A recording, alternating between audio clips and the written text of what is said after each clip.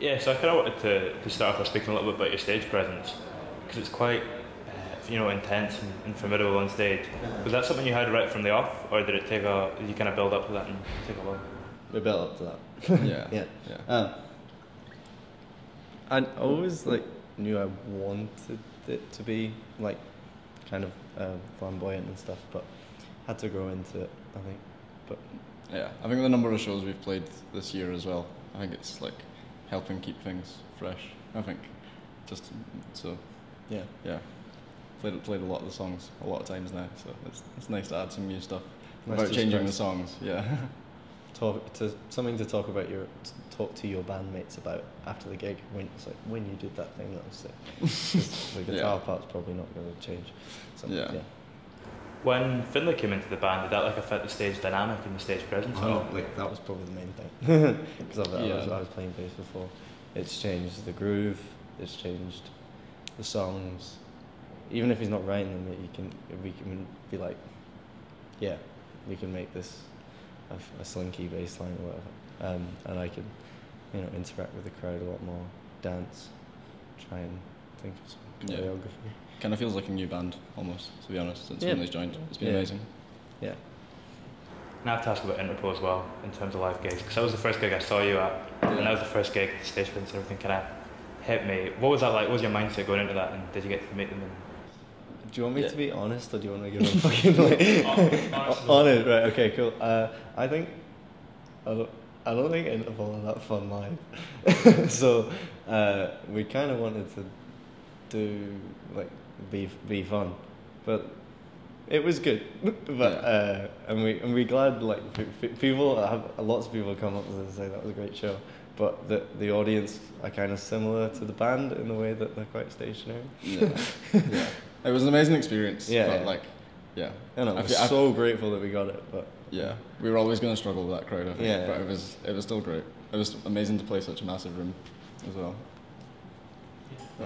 And something that's kind of present in the band is androgyny, and kind of that's something that you've spoken about in your music, and it's something that you do uh-huh. with your image to an extent as well. Uh-huh. In terms like with stereotypes of masculinity, do you think music is a more effective tool nowadays to kind of, you know, bring new ideas to people than it has been in the past, mm-hmm. perhaps, or? Kind of saying? Sometimes uh, it's hard to comment as a band, even though we fight. Well, we know we we st- like are like exp- want people to express themselves and like make uh, people of whatever gender to feel comfortable and like obviously hypermasculinity is, is like so toxic and the world should be rid of it. But it is hard to comment on that as males in a band because we don't face the same struggles that the women and non-binary people do. Um, but you know, anything we can do, we will, and anything we can say. And I do write about, you know, feeling not m- maybe feeling comfortable in male gender quite a lot. Uh, but yeah, And it's it's something that's discussed, like I said, in your music. In the latest single, do you feel you kind of touch upon it in that at all, or? um, the latest single is ish.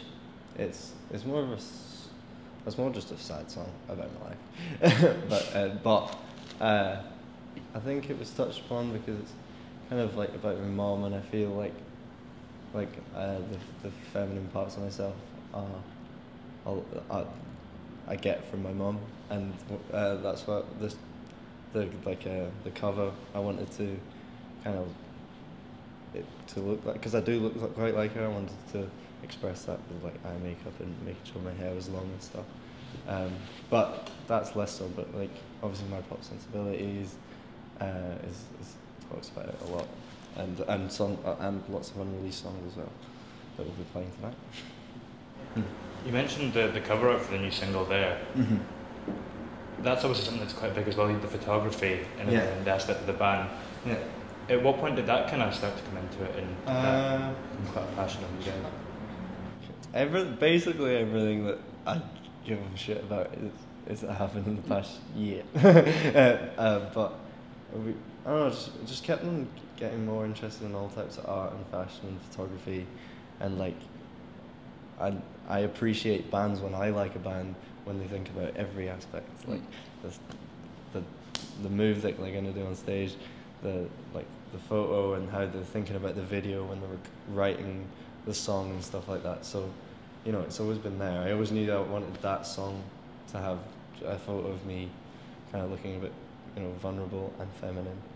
But um, and, and we're using uh, Dil- Dylan Moore is photographing all of the, the artwork and he's doing the videos as well, and he's so talented.